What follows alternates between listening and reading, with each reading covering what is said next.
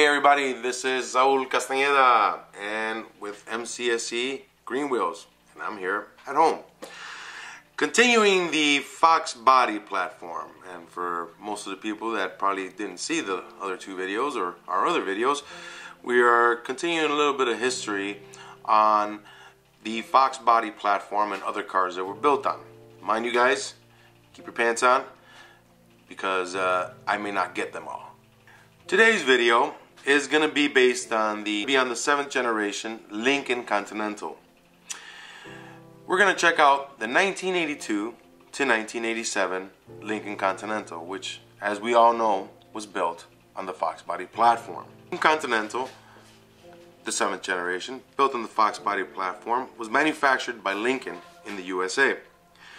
It was categorized as a mid-sized luxury executive car which means that only classy people drove it, much like myself, which just happens to be my favorite car because that's how I got turned to hating all these cars, I guess. No, I don't hate them. I love them. It came with four doors. It was a big body sedan, as far as we thought. But as we give you the history, maybe not so much. It ran from 82 to 87. It was a rear wheel drive vehicle. For instance, in the 82, it came with a four-speed gearbox. It was gas engine. It had a 3.8 V6. It had 112 horsepower. It had 175 foot-pounds of torque. It had an outside length of 201.2 inches with a width of 73.6 inches. It had a wheelbase of 108.7 and one of the most things that in the Fox body community that we find to be interesting is the weight, which in this instant, the base curve weight of this vehicle was 3,384 pounds. It's kind of heavy for a car that you want to race or do up. It would do 0 to 60 in 14.4 seconds and had an MPG of 22 miles. For the Lincoln Continental that came with the 5.0 V8 had a four-speed automatic transmission. It gave out 131 horsepower, 229 foot-pounds of torque, and it would do 0 to 60 in 12 seconds. Its MPGs were only 20 miles per, but the big significant difference was the curb weight, which changed into a 3,512 pound vehicle. The V8 initially adds 128 pounds to the whole car, which as we know in the industry of racing and keeping cars light and nimble, more weight is a no-no. In 1983, Lincoln Continental introduced the Givenchy, a designer series, and that came with 130 horsepower, and it dropped one horsepower than the previous year. But the torque was all beefed up, and it went from 229 foot-pounds of torque to 240. In the same year, in 83, the Lincoln Continental came out with the Valentino design, or the Valentino edition.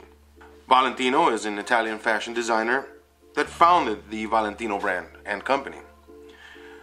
Valentino Lincoln Continental had the same horsepower and torque gas mileage as the Givenchy. As you guys know, for these mid-size big body cars, they did not have front bench seats. It had individual seats in front, both motorized. 1984, still a four-door sedan and a rear-wheel drive vehicle. It had four-wheel disc brakes all the way around. Tire sizes of 205, 75, R15. From 84 to 87, which is considered the seventh generation of Lincoln Continental, was the first time a two-door option wasn't available for Lincoln since 1965.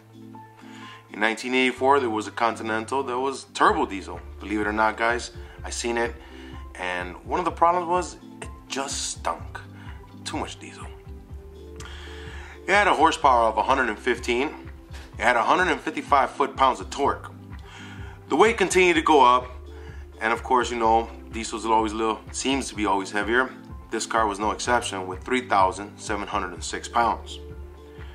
That is an extra 194 pounds since the 1983 Continental.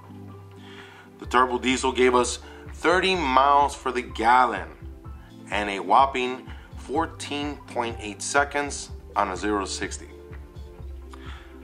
In 1987, the four square headlights were still a big style of Continental. The body with the big four doors really didn't change throughout the years. The rear wheel drive had a four speed gearbox at 150 horsepower with 270 foot pounds of torque. With the curb weight, again, still going up, 3,798 pounds. But the 0 to 60 mark changed to 10.9 seconds, and it gave us 21 miles of MPG. In conclusion, the 1983 to 87 7th generation Continental could maybe be an alternative to build yourself that long lost Fox body.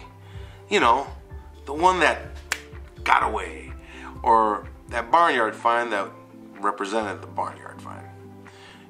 Even though it's a big body car, remember the aftermarket is technically out there. So although it may be a Lincoln Continental on the outside, doesn't mean you can't kick someone's ass like a Mustang. Guys, I want to thank everybody on our Instagram page, on our Facebook page, and more importantly, here on our YouTube page. Don't forget to subscribe and stay tuned for more Fox Body News. Have a good night, guys.